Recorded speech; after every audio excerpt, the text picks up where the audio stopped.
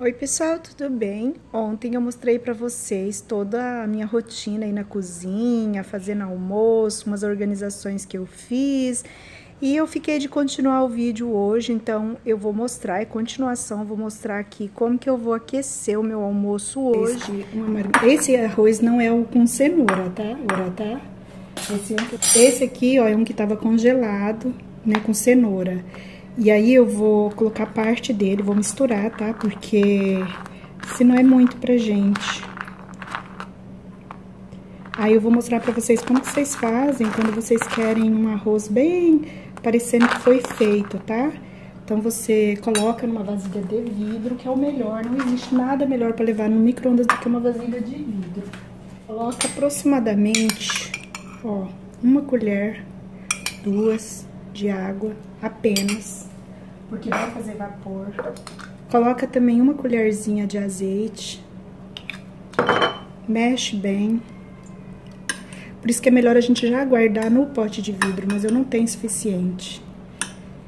Que dê pra você mexer. Agora é só tampar e levar no micro-ondas. Aí eu vou levar 4 minutos, tá? Pra ele meio que cozinhar novamente. Enquanto tá lá esquentando, eu vou pegar o meu feijão, que tá nesse jeitozinho. O jeitozinho não é bom para levar no micro-ondas, a não ser que seja uma coisa assim, bem rapidinha mesmo. Então, esse feijão aqui só pro almoço, ele é muito. E eu não vou esquentar tudo, então eu vou colocar aqui, ó. O que mais ou menos cada um come são duas colheradas. Então, aqui a gente tem duas porções. Três. Quatro cinco, cinco porções. Tampa e leva no micro-ondas por 3 ou 4 minutos. Se você quiser que ferva, coloca um pouquinho de água, coloca 4, 5 minutos. Se quiser só esquentar, 2, 3 minutos, para esquentar bem.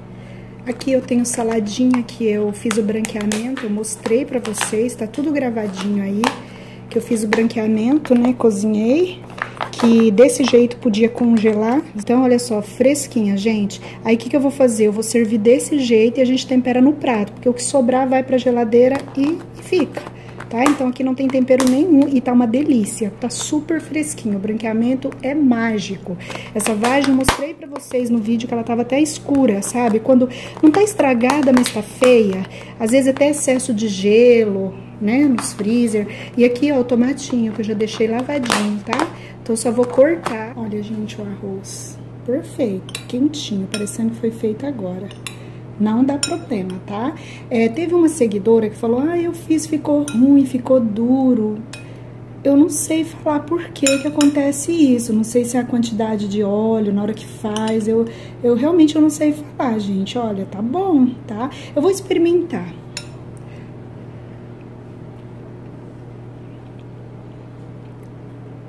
Tá igualzinho o arroz cozido na hora, igualzinho, não tem diferença. Ele tá um pouquinho sem sal. Não sei se eu que deixei com pouco sal ou se porque congelou, né? Lembrando que aqui tem um que só foi pra geladeira e um que foi congelado. A minha mãe que me ensinou a fazer assim, colocar azeite e um pouquinho de água. E ele não tem umidade, esse óleo que vocês estão vendo é do azeite que foi colocado. Você pode fazer também é esquentar só com água e jogar o azeite depois que fica mais saudável desconsidera, tá? Ali é tudo comida que tá guardada, ali o, o, franguinho, o azeite que tá ali, que eu usei pra pôr no arroz. Agora eu vou mostrar pra vocês a praticidade, né, da salada.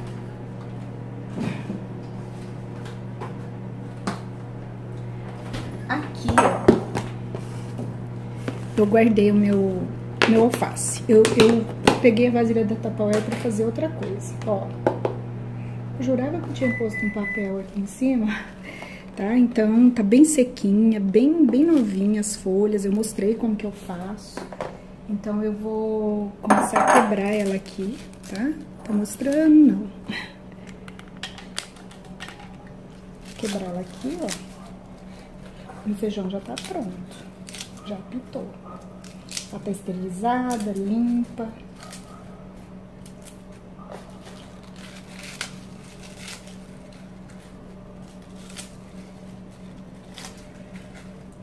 Vendo? Agora eu vou pegar o tomatinho.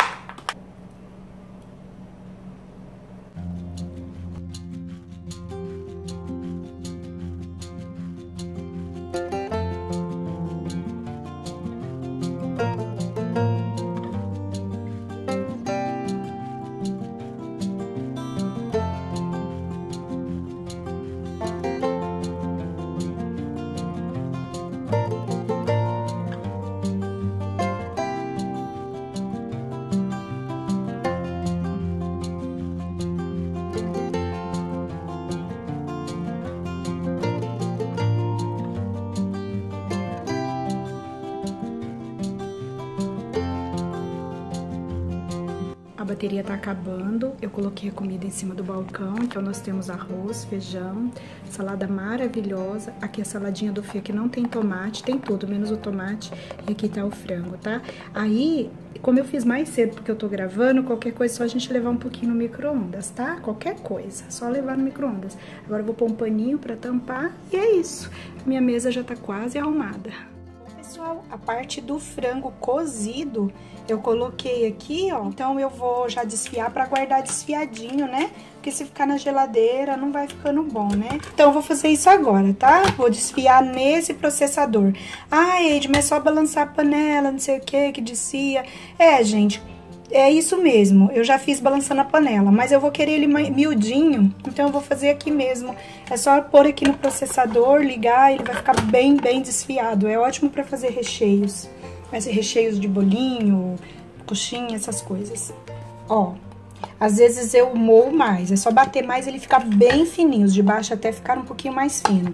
Mas eu deixei assim, tá? Como um franguinho desfiado mesmo, com muita paciência no garfo. Gente, é muito rápido, gente, é um minuto você tem o frango desfiado. Pra lavar isso aqui é super, super fácil. Então, eu vou colocar numa vasilhinha de vidro. Eu tô querendo comprar mais, sabe, gente? Vasilha de vidro pra eu poder armazenar minhas coisas no vidro, que é muito mais saudável. Acho que esse não vai dar, ó. Então, eu não vou ter. A outra que eu tenho aqui sem tampa. Então, mas é isso. Eu vou agora armazenar e depois eu vou ver o que, que eu faço com ele. Pronto, tá aqui. Eu não vou congelar. Bom, me sobraram aqui três bifes. Eu vou transferir pro pratinho, tá? Esse aqui tá sujo de frango. Eu vou passar linha. Eu vou transferir pro pratinho, porque eu vou utilizar essa própria assadeira, tá? Pra fazer um quase um bife à parmegiana. Então, eu vou... Eu quis guardar no de vidro, gente, porque é sempre mais saudável o vidro, né? Mesmo que você não vai esquentar no micro-ondas. Então, eu vou forrar aqui com molho de tomate, tá? Depois eu vou colocar os bifes, vou colocar o queijo. Já aproveito essa assadeira aqui. Vou passar um papel toalha pra tirar essas coisinhas. Bom, gente, então aqui eu vou montar. Eu vou colocar molho à vontade. Acho que esse molho meu tá pouco, mas eu tenho mais. Agora eu vou pegar os filés, vou colocar aqui. É pouquinho mesmo, gente, é só pra, praticamente pra mim e pro Fred. Os meninos acho que não comem. Eles têm outra carninha que eu descongelei pra eles, carninha moída, bem gostosa. Ó, caberia mais, tá vendo? Caberia mais um filé, né? Mas eu só tenho isso aqui, porque na verdade tinha outro bife, mas o Fred comeu na janta. Eu, eu deixei frango na janta, mas ele acabou que depois, mais tarde, ele roubou um filé aqui e comeu. Mas estava certinho pra gente. Aí a gente pode pôr bastante queijo, né? Esqueci de pôr molho, né?